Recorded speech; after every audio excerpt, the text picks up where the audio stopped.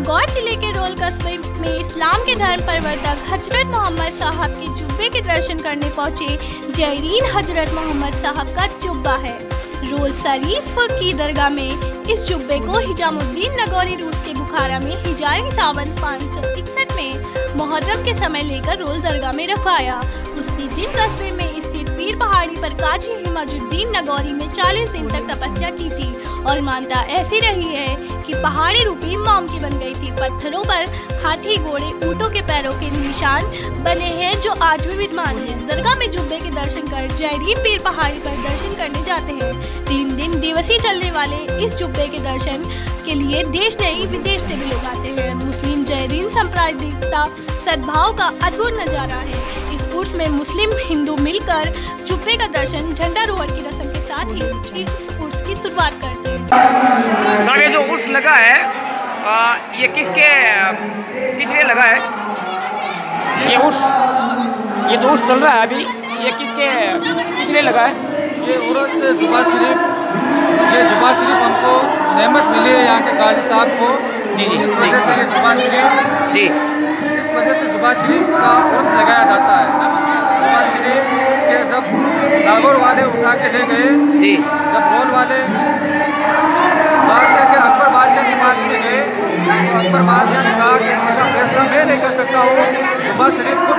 करेगा। कि जुबा शरीफ का ये फैसला रखा गया नागौर में। मुकर तारीख तारीख मुकर कर दी गई। जिसकी बुनियाद पर यह फैसला रखा कि जो जुबा शरीफ को पहले उठा लेगा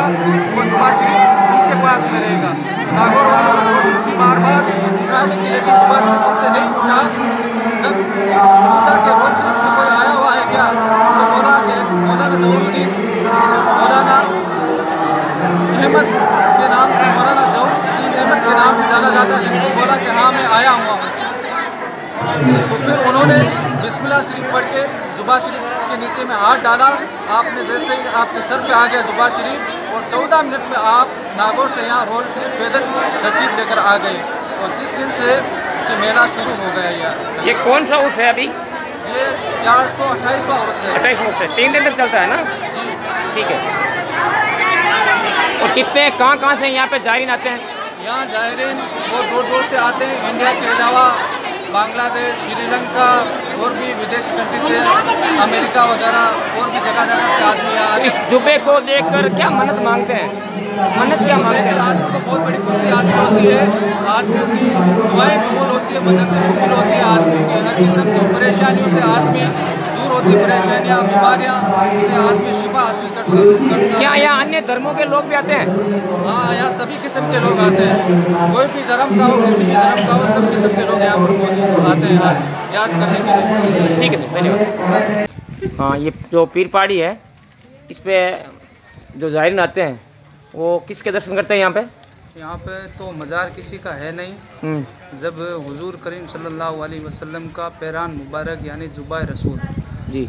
जैसे मुसलमान जुबाए रसूल को पूरा पहचान लेते हैं मेरे हिंदू भाई हैं वो उसको चौड़ा बोलते हैं। तो वो चौड़ा सबसे पहले जब हुजूर काजी हमीदुद्दीन नागौरी अलैह जब यहाँ पीर पहाड़ी पे लेके आए थे जब यहाँ पे ऊँट और घोड़ों के निशान बन गए थे पैरों के। ये मतलब ये मोम की तरह पहाड़ी पूरी पत्थर मोम की तरह हो गए थे।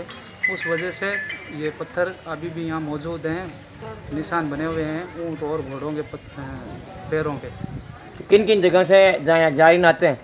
यहाँ पे पूरे राजस्थान क्या पूरे बल्कि हिंदुस्तान से जारीन यहाँ आते हैं और जारत करके फ़ेज़ लूट के जाते हैं। तो कुछ दिनों पहले यहाँ घोड़ों की दौड़ होती थी वो गवर्नमेंट ने हाईकोर्ट के आदेश के अनुसार बंद कर दिया है उसके बारे में क्या कहना आपका? उसके बारे में तो हमारे एमपी अभी मौजूद हैं जो हनुमान बेनीवाल वो कोशिश कर रहे हैं वापस उसको चालू करवाने के लिए। जैसे कि गवर्नमेंट का ये कहना है कि घोड़ा दौड़ इसलिए बंद करते हैं कि अत्याचार होता है घोड़ों पे। तो घोड़ा तो दौड़ने के लिए बना है। जैसे कि फौजी लोग हैं हमारे सिपाही। तो वो जब पहाड़ पे चढ़ते हैं चालीस किलो की या बीस किलो की बंदूक लेके चढ़ते हैं तो वो अत्याचार नहीं है। उनको ये समझ में तो नहीं है। आपकी इस माध्यम से न्यूज़ के माध्यम से क्या मांग रहेगी? मांग तो यही है घोड़ा दौड़ वापस चालू कराएँ रोल और खरनार और कुमारी की जो दौड़ बंद तो क्या गुड़ दौड़ बंद होने से जायरीनों में भी कमी आई है? बिल्कुल कमी आई है बहुत कम आने लग गए हैं। पहले यहाँ रोल शरीफ में जब जायरीन आते थे रोल में वो रात भर यहीं रुकते थे। सुबह जब घोड़ की दौड़ वापस जाती थी तो वो उनके साथ जाते थे। अब रात को यहाँ रुकते नहीं हैं वो अपने घर चले जाते हैं और फिर वापस सुबह आते हैं उतने नहीं आते हैं। आप आपके काम में बिज़ी रहते हैं। जी धन्यवाद।